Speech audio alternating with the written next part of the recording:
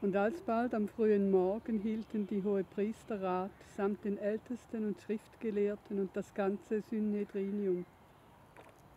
Und sie banden Jesum und führten ihn weg und überlieferten ihn dem Pilatus. Und Pilatus fragte ihn, Bist du der König der Juden? Er aber antwortete und sprach zu ihm, Du sagst es. Und die Hohepriester klagten ihn vieler Dinge an. Pilatus aber fragte ihn wiederum und sprach, Antwortest du nichts? Siehe, wie viele sie wider dich zeugen. Jesus aber antwortete gar nichts mehr, so dass Pilatus sich verwunderte.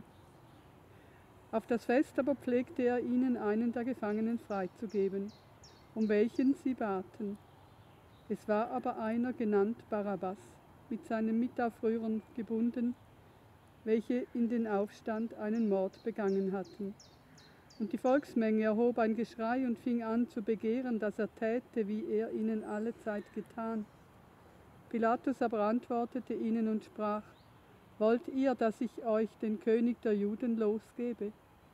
Denn er wusste, dass die Hohepriester ihn aus Neid überliefert hatten. Die Hohepriester aber wiegelten die Volksmenge auf, dass er ihnen lieber den Barabbas losgebe. Pilatus aber antwortete und sprach wiederum zu ihnen, Was wollt ihr denn, dass ich ihm tue, welchen ihr König der Juden nennt? Sie aber schrien wiederum, kreuzige ihn. Pilatus aber sprach zu ihnen, Was hat er denn Böses getan? Sie aber schrien übermäßig, kreuzige ihn. Da aber Pilatus der Volksmenge willfahren wollte, gab er ihnen den Barabbas los und überlieferte Jesum, nachdem er ihn hatte geißeln lassen, auf dass er gekreuzigt würde. Die Kriegsknechte aber führten ihn in den Hof hinein, das ist das Prätorium. Und sie riefen die ganze Schar zusammen. Sie legten ihm einen Purpur an und flechteten eine Dornenkrone und setzten sie ihm auf. Und sie fingen an, ihn zu grüßen. Sei gegrüßt, König der Juden. Und sie schlugen ihn mit einem Rohr auf das Haupt und spien ihn an. Und sie beugten die Knie und huldigten ihm. Und als sie ihn verspottet hatten, zogen sie ihm den Purpur aus und zogen ihm seine eigenen Kleider an. Und sie führten ihn hinaus auf dass sie ihn kreuzigten. Und sie zwangen einen Vorübergehenden, einen gewissen Simon von Kyrene, der vom Felde kam, den Vater Alexanders und Rufus, dass er sein Kreuz trüge. Und sie brachten ihn nach der Stätte Golgatha, was heißt Schädelstätte. Und sie gaben ihm Wein mit Mirre vermischt zu trinken, aber er nahm es nicht. Und als sie ihn gekreuzigt hatten, verteilten sie seine Kleider, indem sie das Los über diesen warfen, was jeder bekommen sollte. Es war aber die dritte Stunde, und sie kreuzigten ihn. Und die Überschrift seiner Beschuldigung war oben über dem Kreuz geschrieben, der König der Juden. Und mit ihm kreuzigten sie zwei Räuber, einen zu seiner Rechten und einer zu seiner Linken. Und die Schrift wurde erfüllt, welche sagt, und er ist unter die Gesetzlosen gerechnet worden. Und die Vorübergehenden lästerten ihn, indem sie ihre Köpfe schüttelten und sagten, Ha, der du den Tempel abbrichst und in drei Tagen aufbaust, Rette dich selbst und steige herab vom Kreuze. Gleicherweise spotteten auch die Hohepriester samt den Schriftgelehrten untereinander und sprachen, andere hat er gerettet, sich selbst kann er nicht retten? Der Christus, der König Israels, steige jetzt herab vom Kreuze, auf das wir sehen und glauben. Auch die mit ihm gekreuzigt waren, schmähten ihn. Als es aber die sechste Stunde war, kam eine Finsternis über das ganze Land bis zur neunten Stunde.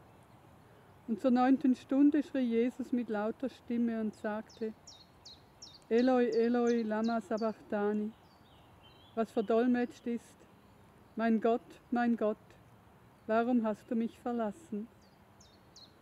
Und als etliche der Dabeistehenden es hörten, sagten sie, siehe, er ruft den Elias.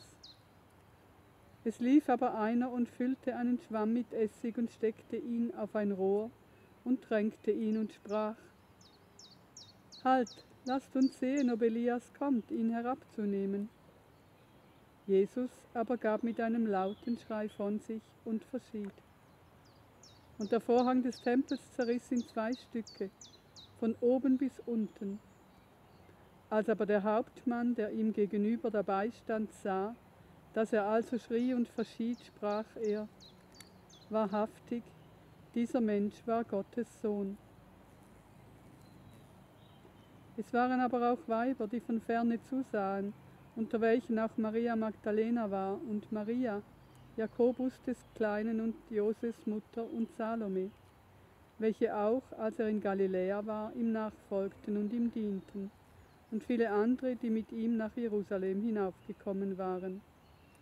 Und als es schon Abend geworden war, welches es ist, dieweil es Rüsttag war, welches der Sabbat vorsah, kam Josef von Arimathäa, ein ehrbarer Ratsherr, der auch selbst das Reich Gottes erwartete, und ging kühn zu Pilatus hinein und bat um den Leib Jesu.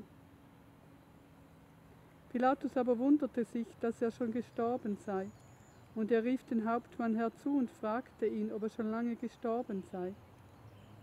Und als er es von dem Hauptmann erfuhr, schenkte er dem Josef den Leib.